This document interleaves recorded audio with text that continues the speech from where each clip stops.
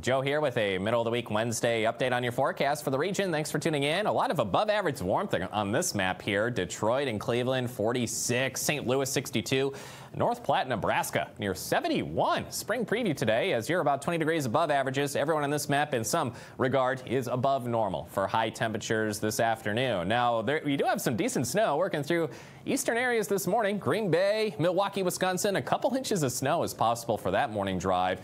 Diving into the Mitten and upper peninsula side of Michigan as well. Not stirring up any lake effect drama, but be safe out there. Out west, we got southerly winds gusting between 20 and 30 miles per hour today for the likes of Bismarck, Sioux Falls, Fargo, and later in the day for spots like Minneapolis as well. So the morning, this system's snow will continue to dive over the Great Lakes. We'll get a break, and then our next cold front will bring in a chance of some rain, potentially turning into snow late overnight, waking up into Thursday morning for the likes of Minneapolis. There are your lows tonight and highs for Thursday.